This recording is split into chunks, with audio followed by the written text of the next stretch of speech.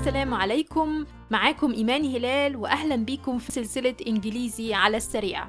السلسلة دي بنقرأ مع بعض فيها قطعة إنجليزية ممكن تكون قصة أو مقال أو جزء من كتاب وبنترجمها وبنعلق على بعض نقاط النطق والجرامر. إنجليزي على السريع بتساعدك تمارس مهارة الاستماع وأنت بتعمل أنشطة تانية زي السواقة أو لعب الرياضة أو أعمال المنزل. ولو حابب تدرس معايا أنا شخصيا دروس مباشرة تأسيس إنجليزي أو محادثة تواصل معايا على التليفون وواتساب الموجود على الشاشة.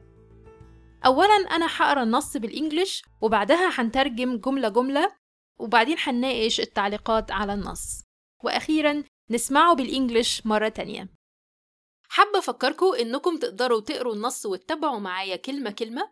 هتلاقوا النص مكتوب في وصف الحلقة على Spotify أو أنغامي أو Google Podcasts أو Apple Podcasts. وطبعا على يوتيوب وفيسبوك النص هيكون واضح قدامكم في الفيديو.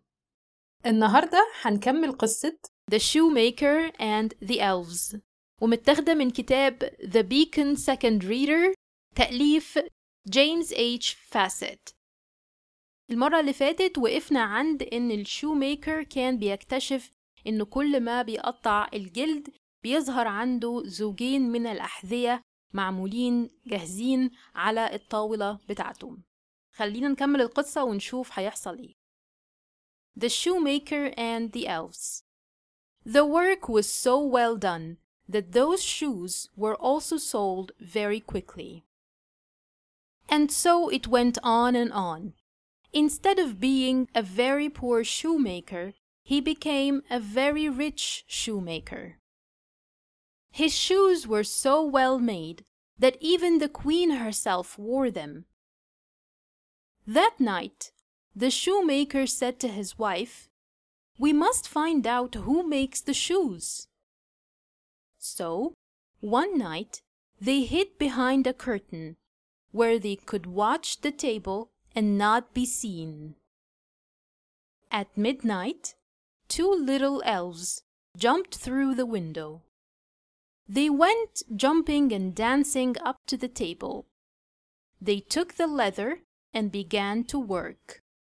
And in no time, the work was all done. The tiny elves ran about, jumping and dancing, jumping and dancing. Then suddenly, they were gone. And now let's read the story with the translation. يلا نقرأ بالترجمة. The shoemaker and the elves صانع الأحذية والإلفان. الإلف ده هو مخلوق خرافي زي الجنية. The work was so well done that those shoes were also sold very quickly. كانا متقنان جدا لدرجة أنهما بيعا سريعا أيضا. The work was so well done كان متقنان جدا that those shoes لدرجة أنهما أن هؤلاء الأحذية were also sold أنهما بيعا very quickly سريعا جدا The work was so well done that those shoes were also sold very quickly. And so it went on and on. Instead of being a very poor shoemaker, he became a very rich shoemaker. وهكذا استمر الأمر. فبدلا من أن يكون صانع أحذية فقير جدا، أصبح صانع أحذية غنيا جدا. And so it went on and on. وهكذا استمر الأمر. Instead of فبدلا من being a very poor shoemaker من أن يكون صانع أحذية فقير جدا he became a very rich shoemaker أصبح صانع أحذية غنيا جدا and so it went on and on instead of being a very poor shoemaker he became a very rich shoemaker his shoes were so well made that even the queen herself wore them كانت أحذيته متقنة الصنع جدا لدرجة أن الملكة نفسها كانت ترتديها. His shoes were كانت أحذيته so well made متقنة الصنع that even the queen herself لدرجة أن الملكة نفسها wore them كانت ترتديها His shoes were so well made that even the queen herself wore them. That night, the shoemaker said to his wife, We must find out who makes the shoes. وفي تلك الليلة قال الرجل لزوجته يجب أن نعرف من يصنع الأحذية. That night وفي تلك الليلة The shoemaker said to his wife قال الرجل لزوجته We must find out يجب أن نعرف Who makes the shoes من يصنع الأحذية That night the shoemaker said to his wife We must find out who makes the shoes So one night they hid behind a curtain where they could watch the table and not be seen وفعلا في ليلة اختبأ خلف ستارة مما أمكنهما من مراقبة الطاولة بدون أن يراهما أحد. So one night في ليلة اختبأ they hid behind a curtain خلف ستارة where they could watch مما أمكنهما من مراقبة the table الطاولة and not be seen دون أن يراهما أحد. So one night they hid behind a curtain where they could watch the table and not be seen. At midnight, two little elves jumped through the window. عند منتصف الليل قفز إلفان من النافذة. At midnight عند منتصف الليل Two little elves إلفان jumped قفز through the window من النافذة At midnight two little elves jumped through the window. They went jumping and dancing up to the table. وذهب الإلفان يقفزان ويرقصان إلى الطاولة. They went jumping وذهب الإلفان يقفزان and dancing ويرقصان up to the table إلى الطاولة. They went jumping and dancing up to the table. They took the leather and began to work. أخذ الجلد وبدأ في العمل. They took the leather أخذ الجلد and began وبدأ to work في العمل. They took the leather and began to work. And in no time the work was all done. وفي وقت قصير جدا تم الانتهاء من العمل.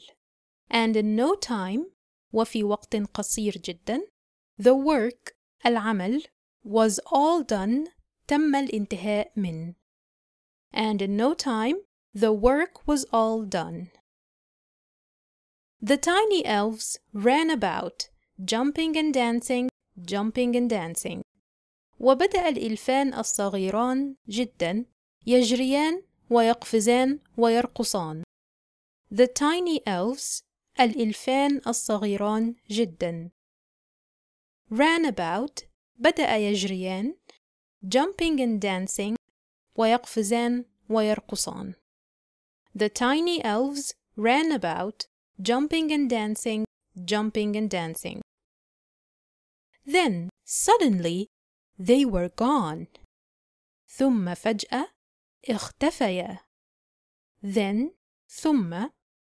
suddenly فجأة they were gone اختفيا then suddenly they were gone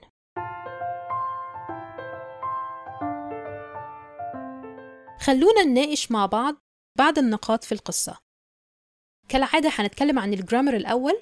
هنلاحظ إن عندنا هنا في الجملة رقم 15 number 15 بتقول and so it went on and on. Instead of being a very poor shoemaker he became a very rich shoemaker. نلاحظ في الجملة دي عندنا indefinite article a واللي بيجي قبل كلمات المفردة النكرة. فين ال indefinite article ده؟ عندنا موجود قبل كلمة very a very poor shoemaker و a very rich shoemaker. حرف ال A بيجي قبل الكلمات المفردة النكرة. زي مثلا لو عايزة أقول ولد هقول إيه؟ A boy. كتاب a book. طاولة a table.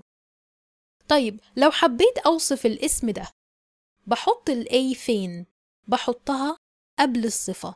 زي ما شفنا هنا poor shoemaker a poor shoemaker a very rich shoemaker a very poor shoemaker إذا ال A بتيجي قبل الصفة ولو الصفة قبلها very ال A برضو هتيجي قبل ال very خلينا نشوف uh, الجملة رقم 18 sentence number 18 we have so one night they hid behind the curtain.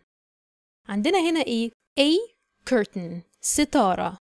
أول مرة ذكرنا كلمة ستارة. وعايزين نقول ستارة.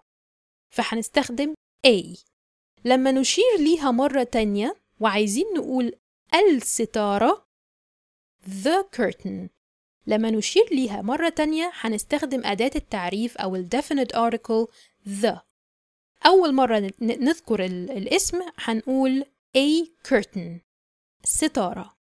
تاني مرة هنذكره هنقول the curtain. وفي جمل كتير في القصة برضو the shoemaker and his wife the. ليه قلنا the؟ لأن إحنا خلاص عرفناه. ليه قلنا the curtain؟ لأن إحنا خلاص عرفناها. So the curtain the shoemaker لأنها أصبحت معرفة. ولمعلومات أكتر عن الارتكلز اتفرجوا على فيديو رقم 6 في سلسلة اليوتيوب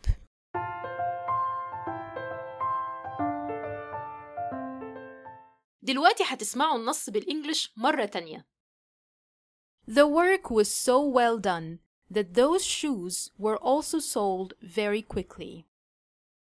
And so it went on and on. Instead of being a very poor shoemaker, he became a very rich shoemaker. His shoes were so well made that even the queen herself wore them. That night, the shoemaker said to his wife, We must find out who makes the shoes.